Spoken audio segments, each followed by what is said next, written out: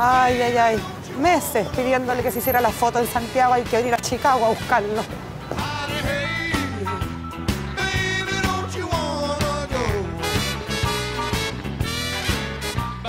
Un calor. Bye.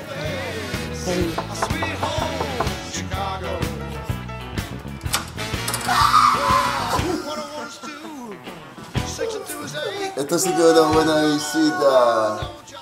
Te traje un regalo. Porque los chilenos siempre echan de menos eso, ¿no? Opción histérica, opción asumida. Opción asumida. Ya. Sí, vayamos a hacernos No, para que nos vamos a mentir entre nosotros a esta altura del partido. ¡Ay, ¡Ay, salud! Mira que venir a curarse chica.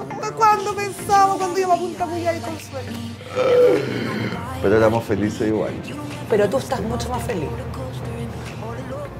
de lo que te vi yo en muchos años. Despierto contento hace rato. Porque al final también venirte para acá fue una decisión que tomaste a partir de cosas tristes que te pasaron. No es que te ganaste un pasaje o te ganaste un- una herencia, no. Tú mismo dijiste, tuve que irme a recomponerme. A recogerme. A recoger los pedazos de, de lo, de lo que había quedado después de lo de la pega, después de lo del- de la pareja que también pasó.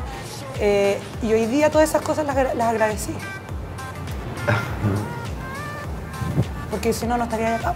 Mi abuela siempre decía, eh, la guá, eh, que las crisis son para gente inteligente. Te deja la Abigail, pongámoslo en ese término que es súper triste, pero que es verdad. Te deja tu novio y te deja el trabajo. 'em. Una sensación bien heavy, Sí, como sentirse un poco... sí, eh, en un precipicio. Porque uno deja la pega, y- pero llega a la casa y tiene a la pareja que te apaña. O al revés, estáis mal con tu pareja, pero en la pega estáis súper estable. O está todo mal, pero llega ya a tu casa y está la Abigail. Hubo un momento en que no había nada de eso. Pero había algo que era mucho más valioso, que era la familia. La poca familia que tengo, mi abuelo, mi tía, mi prima, eh, mis sobrinos. Eh, estaban los amigos. Los amigos que recuperé después que me separé. Eh, los buenos amigos que volvieron sin condiciones. ¿Por qué recuperar amigos, Jordi, por estar en pareja? ¿Por qué estar en pareja implica dejar a los amigos? ¿O a porque, ciertos amigos? porque quizá yo estuve en una relación donde tuve que cambiar muchos hábitos eh, por proteger a la persona con la que estuve. Que cuando una relación se acaba es porque se tiene que acabar por el bienestar eh, de los dos involucrados. Ahora, yo lo ins- insisto, lo hablo desde, desde desearle el bien, porque yo también me alegro si él está bien, y él está tranquilo, y está por lo menos mejor que como estábamos juntos. Y no tiene que ver con que yo haya sido una mala persona. Eh, Tiene que ver con que probablemente ya no funcionábamos juntos o no era el momento en que teníamos que seguir juntos.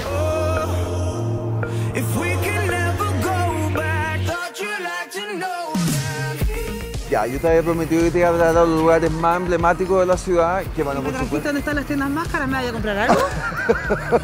Bueno, coincide con que esto le llaman la Magnificent Mile. ¿Por qué? Porque aquí está la, la torre de agua, que fue una de las cosas que fundaron los señores muy antiguos que fundaron esta ciudad. Para allá está Navy Pier. ¿Te puedo hacer una foto, un par de fotos para el programa aquí? Así como chévere. Puta, pero no, ¿cómo voy a sacar la No, foto de la ahí, pobre pues, señora, ahí, ahí, apúrate, apúrate, apúrate. Wrong.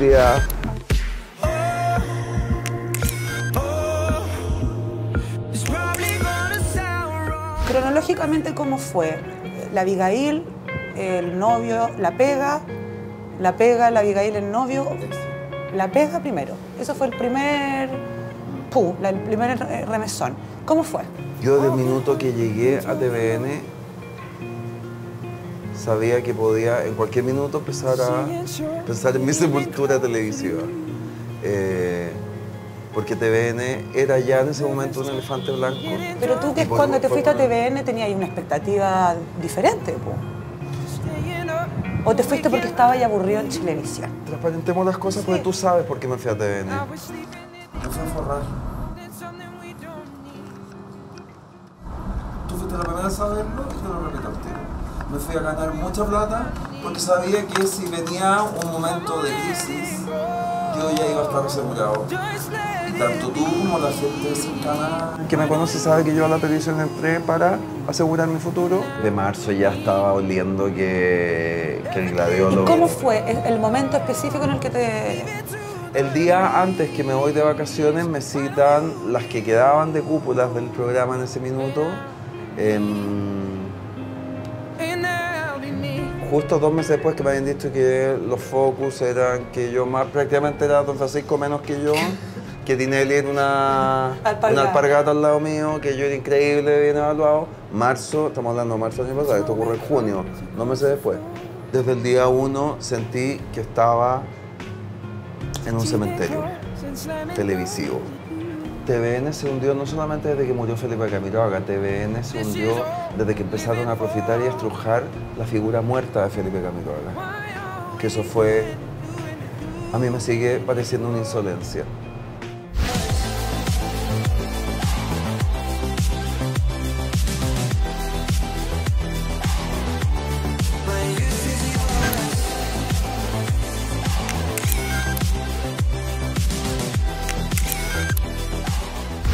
De la Abigail desde hacía algo así como ocho meses ya me habían advertido que era su tercer cáncer, tercera vez que lo operaba en un año, que le sacaba tumores. em, y cuando me dan la última biopsia me, me presentan a la oncóloga que le iba a hacer la quimioterapia a la perra y yo ahí yo dije, Es lo único que te emociona cuando te acordáis de Chile.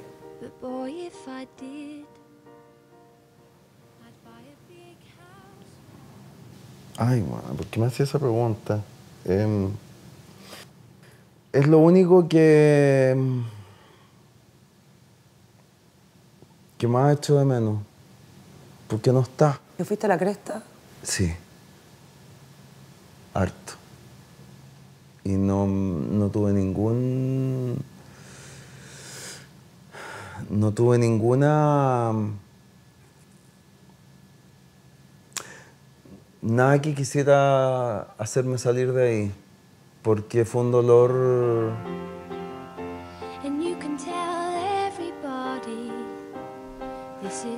Que no pretendo superar todavía. Se va la Abigail. Te vais, como acabamos de, de decir, a la cresta. Y ahí viene el tiro de gracia. love. Sí. Sí, pero estábamos, estábamos hace rato. Creo que ninguno de los dos era feliz con el otro. Y creo que hay millones de factores que no voy a juzgar porque tampoco, tampoco corresponde hablar de alguien a quien quise tanto, de todas las cosas que, que nos dejan parados los dos como compañeros, como pareja. Un fracaso amoroso, un fracaso de los dos. Y fue un fracaso fuerte porque nos queríamos harto. Y él ahora está mucho mejor sin mí. ¿Y tú? Estoy mejor sin él. ¿Qué tenía en el refri? Bueno, ya que está... ah, les, les tengo millones de cosas como ricas para que chanchemos. Pero a ver, la, la piña que me como en ayuna todos los La días. Muy bueno diurético. em, Frutos secos. También el pampita. Ay, es, que, es que hay que, hay que mostrarle la chemala. Esto es un queso cottage, que es como una especie de, de quesillo, como se muere el cerdo, pero es rico. Quiero aclararte que todo lo que hablemos de mi relación, yo soy el absoluto responsable de todo lo que pasó y de lo que no pasó. Y no me arrepiento, pero ni un segundo de todo lo que me enamoré. Yo creo que las cosas que más nos unieron eran nuestras diferencias al principio. Y son las cosas que más nos separaron. Desde, desde la humildad, todos los días decir qué suerte que tengo la capacidad de poder celebrar hasta un maní que me como. Así como celebrar que a un ex del que me tuve que separar llorando, pero como catarata, alegrarme porque esté bien y porque esté tranquilo y porque le vaya bien. ¿Tú crees que él tiene el mismo sentimiento? Yo quiero creer que sí. Yo quiero creer que sí. Y por lo que he escuchado de gente muy cercana a él, su familia, que, que- que está bien, qué bueno. Te lo juro, te lo juro por Dios, qué bueno. Un día te levantaste y dijiste, me voy a ir a Brasil. Sí. ¿Cómo? Te levantaste y dijiste, me voy. No, no un día, fue el día siguiente que me separé. Ah, Abro el iPad y digo, yo no me voy a quedar llorando en Santiago. ¿Dónde quiero ir a llorar?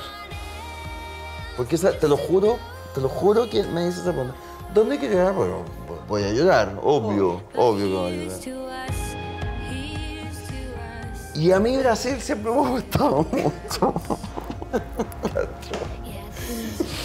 Brasil siempre me ha gustado mucho, me gusta mucho. La comida es lo que menos me gusta de Brasil. Me gusta que tenemos mejor comida en Chile. Eh, me gusta el clima, me gusta. y para allá te fuiste a llorar. Sí, que no lloré mucho. Eso te iba a preguntar, al final dijiste, porque voy a llorar. Obvio. ¿Lloraste? ¿Tú cuánto tiempo estuviste en Brasil? La primera vez. ¿O la segunda? La primera, cuando te fuiste La primera estuve de- 20 desmoralizado. 22 días. Un llanto bastante largo. Fue Una un vía no. crucis.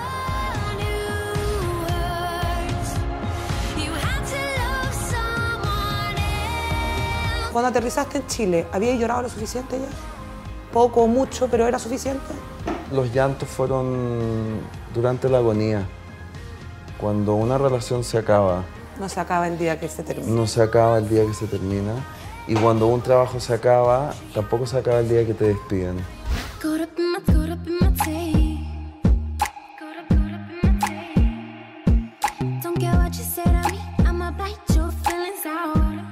Déjame hacerte una foto ahí, Ya. Francia, ¿te demasiado de- ¿Dónde me pongo? Aquí ¿Cómo me para que no te dé el viento. Linda. Ay, no, te veis la raja. Para mí el lujo es esto. Es como... Y la gente rara como nosotros eh, entiende lo que yo vine a hacer y vine un poco a comprarme una vida que sé que nunca más voy a tener. Que es andar en metro, caminar por la calle y que no me recuerden cada 20 segundos quién soy. Y tener una vida estudiante y estar en un curso eh, con compañeros en que vamos a la vuelta de la esquina a comernos un sándwich porque tenemos 20 minutos para almorzar eh, y acatar la disciplina de ser uno más, un desconocido más, e irme caminando al supermercado y volver cagado como equeco con las bolsas y que me dé lo mismo que me vean, ¿se entiende? Yo sé que eso en Chile nunca más lo voy a tener. Es un viaje sin retorno.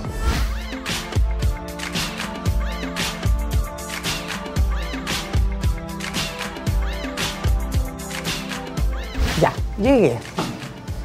Yo no prometo que me voy a encontrar con Jordi, porque yo creo que Jordi no está estudiando en Chicago, vino a puro. Se supone que acá estudia.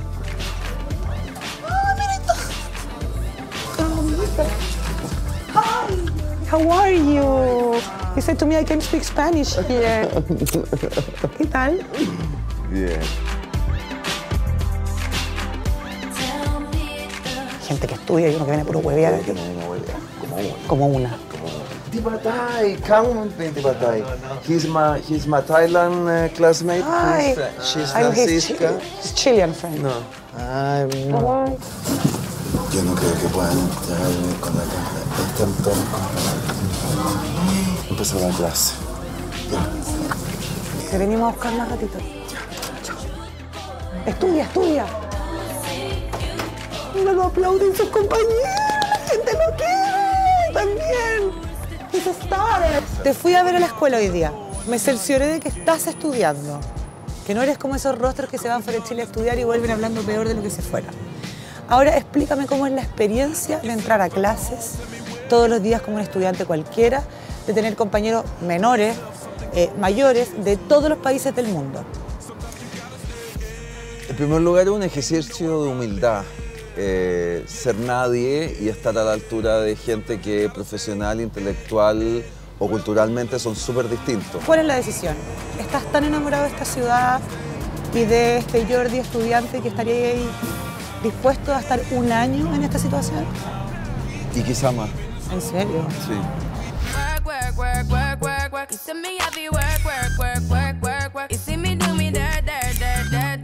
No hay pega, no está la Abigail, no hay pololo. No hemos hablado de personas que yo sé que son súper importantes para ti, tu abuelo.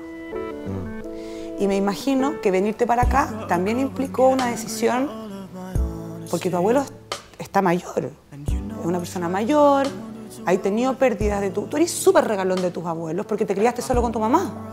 Bo es el hombre más importante en mi vida y contra todo pronóstico, un hombre que va a cumplir 90 años en tres meses más. Cuando le conté la idea a Chicago, fue el único, no solo de mi familia. Ay, qué fuerte. Qué fuerte acordarme de esto. Fue la única persona de mi entorno que me dijo, aprovecha cada una de las oportunidades que la vida te da, estás en la edad perfecta y el momento preciso para absorber todo lo que te está pasando, ándate, a mí no me va a pasar nada, yo voy a estar bien. Eh, todos los domingos llamo, llamo a, que le tango por FaceTime a mi tía o a mi prima porque sé que están almorzando todos allá. Ay, qué otro desagradable, me a hacer llorar, cargante.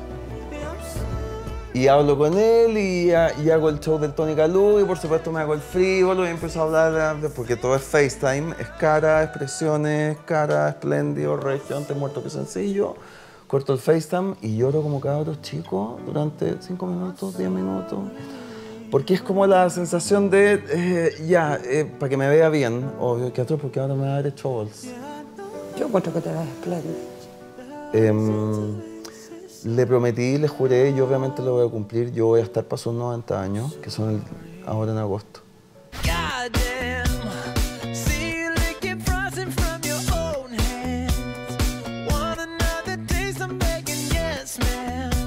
Bueno, ¿qué querés que te diga? Eh, fueron dos días completos contigo. Eh, vimos tu casa, tu escuela.